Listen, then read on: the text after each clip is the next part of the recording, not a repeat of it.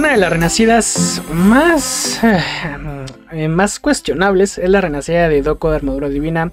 Yo creo que el personaje no la necesitaba, muchos coinciden en, que no la necesitaba y cuando realmente el personaje se empieza a quedar corto, ahí sí vamos a echar en falta una renacida. Pero bueno, vamos con la guía definitiva de Doko de Armadura Divina. Bienvenida gente de YouTube a un canal más. Vamos entonces con la guía definitiva de este buen caballero de Libra, un personaje muy importante en el juego, cuya renacida pues no le ayuda mucho que digamos. Entonces, Doco Libra como tú bien sabes puede activar diversos efectos, puede activar un total de 6 armas de la armadura a lo largo de la batalla, ya con la renacida puede llegar a activar 9, pero son casi que insignificantes. Y eso depende de cómo utilice sus habilidades, la primera, la tercera y la cuarta, o los efectos que se activen de dichas habilidades. Empezamos con el arte marcial definitivo, su básico, y hay dos maneras de jugarlo. Primero, al atacar a un personaje enemigo, le vas a hacer un pequeño daño físico y le vas a aplicar una acumulación de sangrado. Al hacer este movimiento vas a activar ya la espada de la armadura.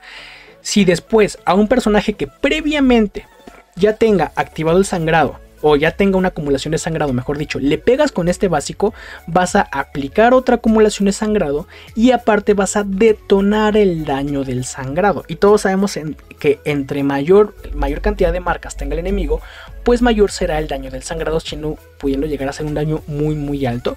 Y al activar este efecto, estarás activando la lanza de la armadura divina. Pero ojo, mucho cuidado. Eh, técnicamente el orden que se tiene que seguir con esta habilidad es primero pegarle a un enemigo que no tenga sangrado y después pegarle a un enemigo que ya tenga sangrado para activar ambos efectos. Muy importante tener esto en cuenta para la versión de sangrado que es su principal versión de daño. Pasemos con su tercera habilidad, la segunda la vamos a dejar hasta el final. La herencia definitiva esto lo que hace es que vamos a poder potenciar a un aliado por 0 puntos de energía. Lamentablemente este potenciador dura por solamente una ronda de acción. Es decir que si un personaje tiene doble turno, solo se verá beneficiado en el primer movimiento. Y gracias a esto podremos potenciar a nuestro aliado en un 50% de su ataque. Y en el caso de ser daño cósmico se beneficiarán de un 20% de daño cósmico adicional. Y de un, si son físicos, de un 20% de efecto crítico adicional. El problema con esto es que tienen que pegar crítico para aprovecharnos de este bono. Pero bueno bueno.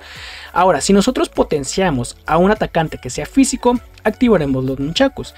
Si potenciamos a un atacante cósmico, activaremos el Sansetsuko. Pasamos con su cuarta habilidad y su única pasiva, la defensa definitiva. La primera vez en batalla que Doko baje del 50% de sus puntos de vida máximos, en ese momento ganará un escudo bastante importante igual a cierto porcentaje de sus puntos de vida máximos, que el nivel 4 es del 40%, el cual durará dos rondas o hasta que se consuma dicho escudo. Solo se puede activar una sola vez por batalla, o sea que si después lo curamos, no se volverá a activar si volvemos a bajar del 50% de puntos de vida. Ahora, Doko como tú bien sabes nos puede prestar cierta cantidad de energía por ronda se puede prestar hasta dos puntos de energía, pero cada punto nos costará sacrificar un 10% de la vida de Doko. Por lo menos esto a nivel 4. O sea que si ocupamos los dos puntos, pues en ese momento Doko tendrá que sacrificar el 20% de sus puntos de vida máximos. Este efecto se aplica de manera automática una vez que nosotros nos quedemos sin energía en nuestro contador de energía o que no tengamos suficiente energía para utilizar cierta habilidad. Ahora, es muy importante tener en cuenta que hay algunas mecánicas en el juego que no contabilizan esto como energía tal cual, porque no, no la genera, o sea, no nos, no nos la agrega a nuestro contador de energía, simplemente nos las da, nos las presta directamente a cambio de la vida. Esto es muy importante tenerlo en cuenta, por ejemplo, para el conteo de energía de esta Atena y reducir el costo de su cetro de la victoria. Para no, esta energía no cuenta para cargar más rosas con Afrodita Divino y tampoco cuenta para este Saga Maligno. Por ejemplo, si un enemigo o más bien un aliado ocupa los dos puntos de energía de Doko, pues no contará como que haya utilizado energía y Saga Maligno no le aplicará el golpe al final de la ronda. Así que muy importante tener en cuenta ese tipo de interacciones.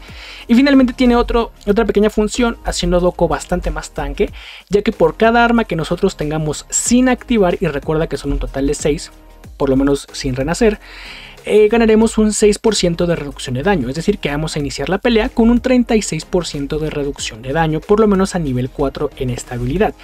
Y cada vez que vayamos activando una de estas armas, perderemos un 6% de reducción de daño, pero ganaremos un 6% de daño adicional. El problema es que no sé si este daño adicional también afecta al sangrado. Si alguien lo sabe, por favor hágamelo saber en la parte de comentarios. Cuando nosotros activamos o cuando se activa de manera automática el escudo de Doko, activaremos como no el escudo de la armadura.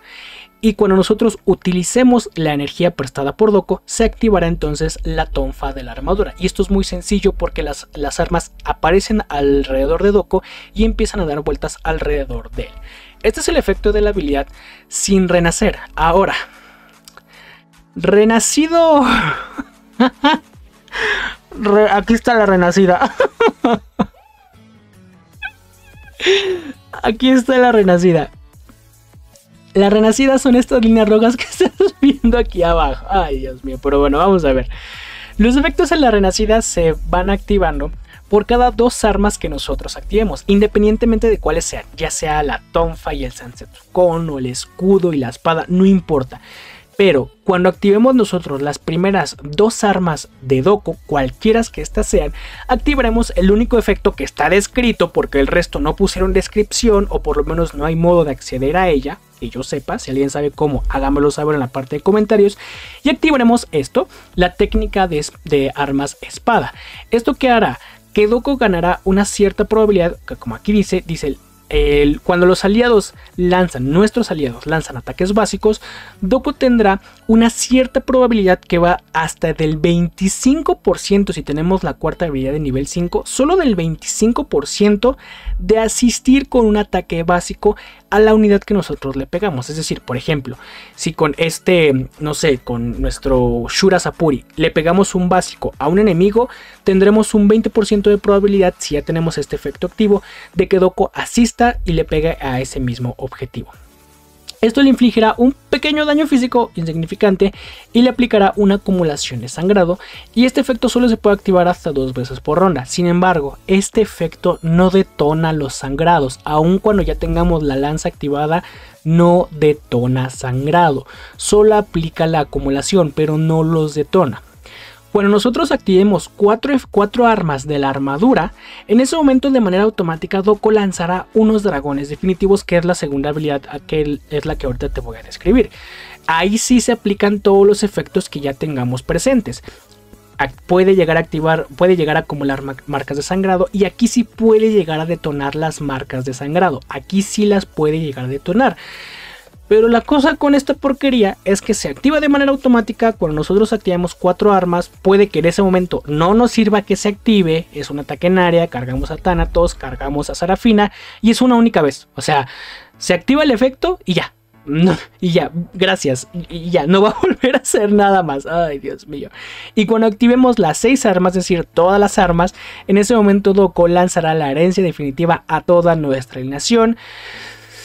Lo cual es bueno, o sea, ese efecto sí es bueno, pero se tienen que activar todas las armas. Y activar todas las armas es muy difícil en una partida. Muy difícil. Es básicamente la misma porquería que pasa con la exclamación de Atena.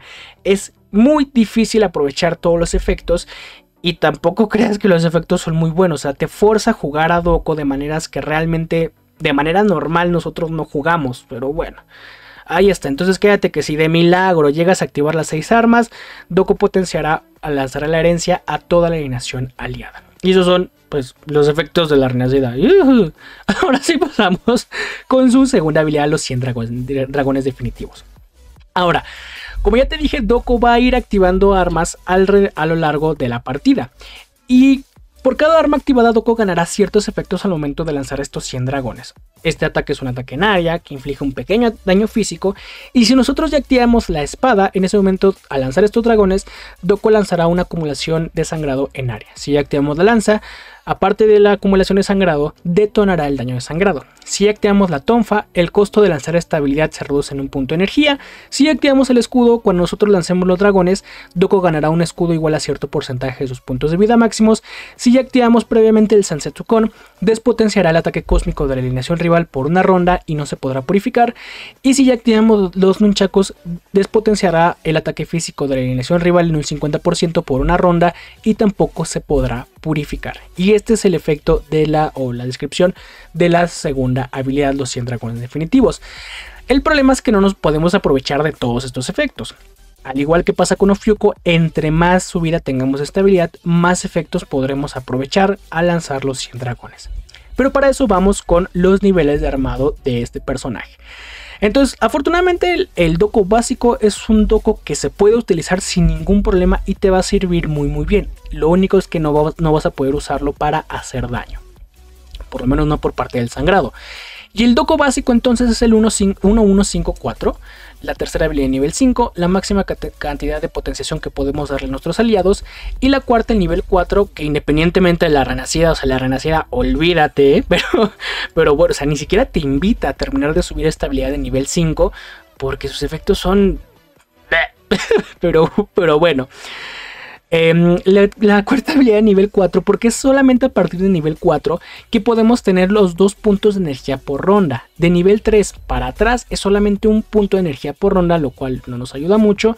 Y pues tenemos, como ya viste, un 6% de reducción de daño por cada arma que no activemos. Ese es el doco básico. Y aún así lo puedes jugar perfectamente. Yo lo jugué así por mucho tiempo.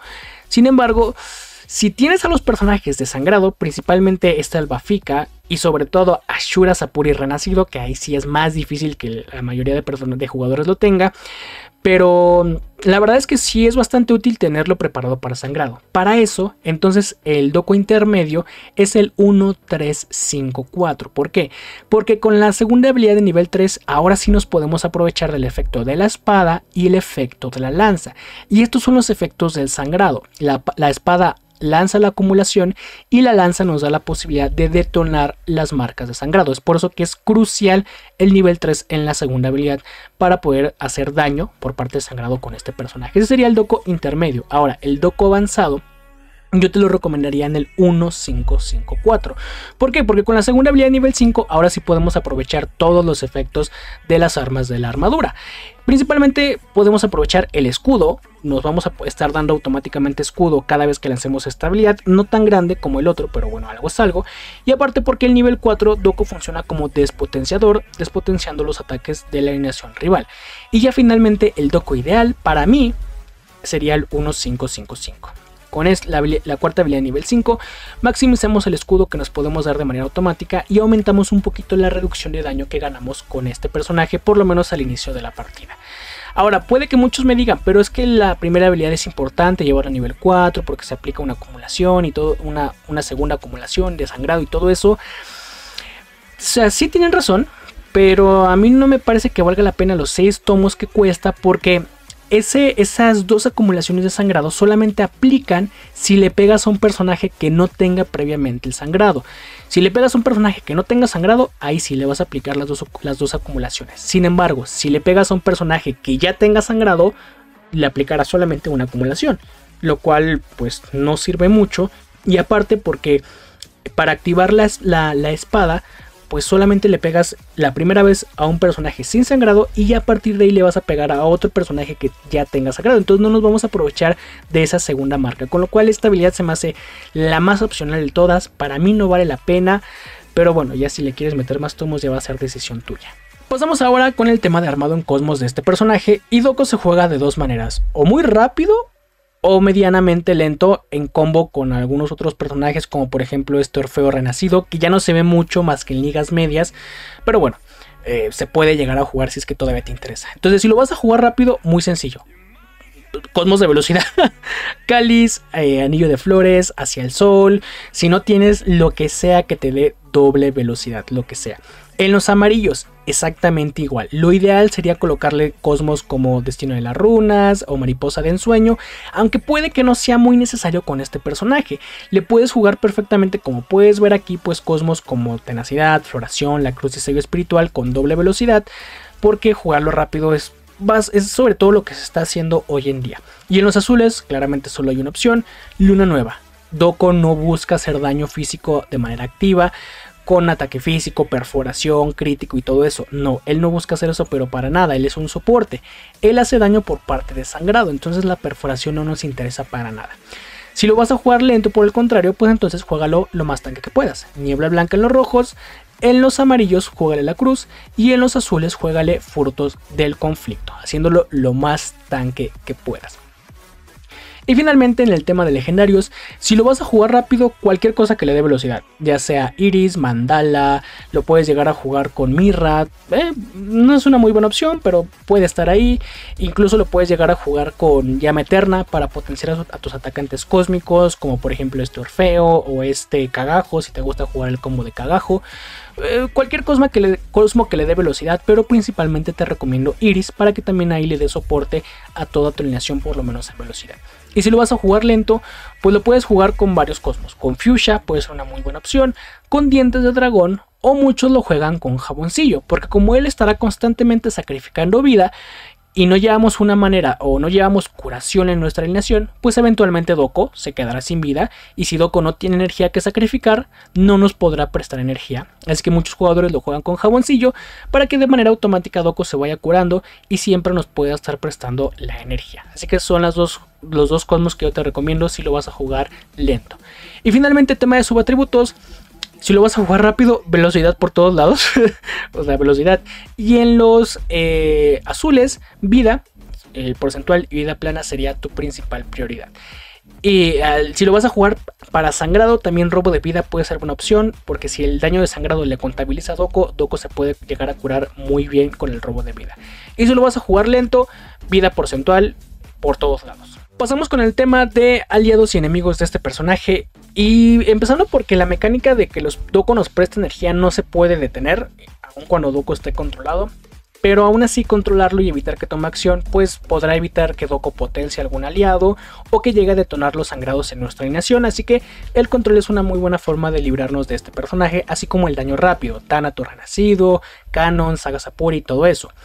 Otros counters un poco más específicos, primero tenemos a esta Artemisa, rebobina Nadoko, y las marcas de sangrado desaparecen y tiene que volver a activar todas sus armas. Este Oneiros, porque si Oneiros le aplica la marca de sueño y Doko y a Doko le contabiliza el daño de sangrado, pues entonces no podrá hacer nada de daño por parte de sangrado. Persefona también es una muy buena opción porque amortigua gran parte del daño masivo de sangrado, lo cual, bueno, claramente Persefona estará perdiendo vida, pero bueno, es una buena manera de ganar tiempo en contra del sangrado. Y de ahí en fuera, a lo mejor este Mew, porque Mew es inmune a, la marca de sangrado, si ya entra en su forma de mariposa. Y también podría ser este toro, sacar el, arma, el alma a Doko y así morirá más rápidamente, incluso no importará el efecto de su escudo. Y ahora pasamos con el tema de aliados, pues todo lo que le dé sustén, o sea, Doko, eh, básicamente es un soporte, así que sustén, curación, Hashon, Shion Sapuri, Ofiuko, Sarafina, todo lo que le dé sustén es buen amigo de este personaje y claramente acompañarlo de buenos atacantes que se puedan aprovechar del bono de daño que le puede llegar a dar Doko, pues muy bien y otros dos aliados en específico serían los integrantes del equipo de Sangrado, Alba Fika por, un lado, y por el otro tenemos a Shura Sapuri, pero principalmente en su versión renacida. Y finalmente pasamos al tema de alineaciones y el Toco la verdad es que entra en casi cualquier alineación porque nos, nos presta energía y nos potencia nuestros atacantes, o sea que va en cualquier alineación. Nuevamente esta es una de mis mejores alineaciones, súper agresiva, Doko me presta la energía y aparte potencia a mi Manigoldo para que destruya todo en ronda 1. Pero cualquier alineación, cualquier combo, sobre todo Doko es pieza clave en la mayoría de los combos por justamente su dualidad en prestarnos energía y en potenciarnos el daño. Pero otra combinación así específica sería con el Ultra Canon. Un Doko más rápido que Canon, así eh, Canon está potenciado, la sombra se genera potenciada y va a hacer muchísimo más daño, sobre todo verdadero. Claramente, si Canon primero genera la sombra, ahí sí la potenciación de Doko no va a servir para nada porque la sombra no se verá potenciada. Pero si logras hacer a tu Doko más rápido que Canon, es una de sus mejores y principales combinaciones actualmente, lo cual para muchos jugadores lamentablemente no es muy fácil. Y fuera de todos esos, ese tipo de equipos agresivos, pues claramente el equipo desangrado. Esta es la versión que a mí me gusta jugar con Shura Sapuri, pero a lo mejor con el Bafika también funciona muy bien. Eh, entonces, con el equipo desangrado también es una de sus principales combinaciones específicas. Y esa fue la guía definitiva de Doko de Armadura Divina Renacido. En conclusión, la Renacida funciona. Casi que no funciona, pero para nada En, o sea, no sirve casi que de nada. En una alineación normal, donde llevas, vas a potenciar a tu alineación, utilizas energía y todo eso, llegas a activar dos, dos, este, dos armas, eso sí seguro. Pero y el básico no te sirve casi que de nada. O sea, la asistencia de Doko. Primero empezando que la probabilidad de asistencia es muy baja. Y si asiste, ¿qué?